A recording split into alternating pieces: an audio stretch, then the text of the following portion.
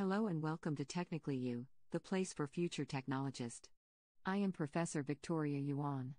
If you are new to our channel, I would appreciate it if you hit the subscribe button. Today on Technically U, we will be covering Network Functions Virtualization. What is Network Functions Virtualization, NFV? While one cannot typically simplify explaining what is NFV, we are going to give it a Technically U try with this NFV overview. So, in its most basic form, NFV is a network architecture framework that defines the principle of separating network functions from the hardware they run on by using virtual hardware abstraction. Now, what does that really mean? Well, NFV decouples network functions from proprietary hardware, allowing the networking software developed by different vendors to run as virtual machines on shared generic hardware with no dependency on a single vendor and through orchestration can be managed from a centralized platform. The main components of the NFV architecture are Virtual Network Functions, VNF. VNFs are software applications or the virtualized network elements that perform certain network functions such as routing, switching, firewalling, load balancing, etc. Basically, VNF replaces the specialized or proprietary hardware functionalities with software. There is so much more to learn about VNF that we will create a separate Technically U quick bites on this topic. Network Functions Virtualization Infrastructure, NFVI. NFVI is made up of infrastructure subcomponents consisting of compute, memory, storage, and networking. These physical, virtual, and virtualization layer, decoupling layer, components work from a platform to support what is needed to run the networking applications.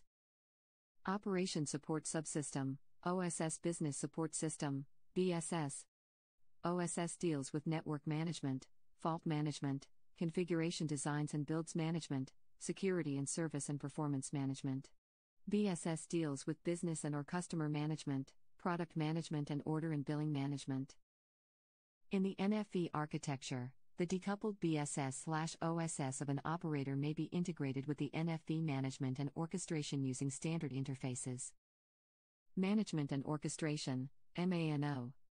MANO supports the framework for management and orchestration of all the network resources.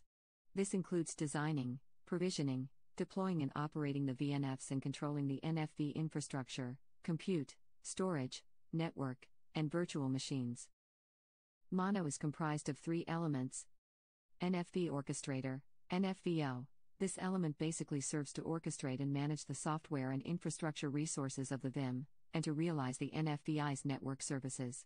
This includes onboarding of new network services and VNF packages, network service lifecycle management via network service orchestration, NSO, resource management, and network service instances policy management. Virtual Network Function Manager, VNFM, responsible for lifecycle management of VNF instances. These actions consist of instances termination, scaling in and out, instantiation, failover, as well as coordinating and event reporting between the NFVI and the Network Management System, NMS. Virtual Infrastructure Manager, VIM, controls the intersection of the VNF with the compute, storage, and networking resources of the NFVI and collects and forward performance measurements and events. Benefits of NFV NFV consist of multiple benefits to an organization. Here are a few of them better communication, visibility, and data accessibility. In addition to managing networks, NFV improves network function by transforming how the network architects generate network services. This process is performed by using an architectural and creatively designed method to link together different network nodes to produce a communication channel that can provide freely accessible data to users. Cost reduction. Often used to great effect for decoupling network services, NFV can also be used as an alternative for buying and maintaining separate routers, firewalls, load balancers, and many other network appliances, thus reducing operating and maintenance expenses. Scalability enhancements. Because NFV uses virtualized services, multiple VMs can run from a single server and scale using shared resources. This helps direct unused resources to where they are needed and boosts efficiency since VMs can be set up and torn down in real time in a virtualized infrastructure. Improved resource management. Once an infrastructure is virtualized, it can do more with fewer resources because a single device can run different VNFs simultaneously to produce the same amount of work. This allows for an increased workload capacity while reducing the overall footprint, power consumption, cooling, and staffing needs. Adaptability and speed up time to market. NFV helps organizations become more agile by updating their infrastructure software when network demands change, reducing the need for physical updates. As business requirements change and new market opportunities open, NFV makes it easier for organizations adapt quickly and introduce bring new services in a shorter period to the ever evolving marketplace. Vendor lock-in avoidance. One of the greatest benefits of running VNFs on vendor agnostic hardware is that organizations are no longer locked into proprietary applications and devices. This decreases end of life concerns and product obsolescence. Add, moves, changes, and new service implementations, as well as required updates, can be done remotely from a centralized platform.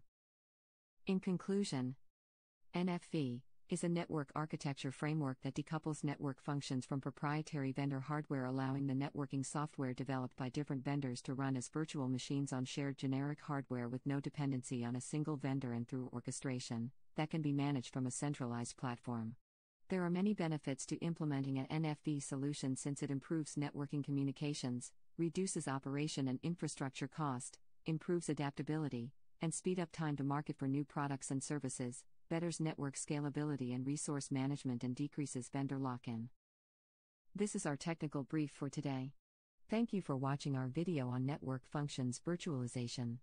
We really appreciate you spending time with us. If you like this or any other technically U video, please give it a thumbs up and subscribe to our channel.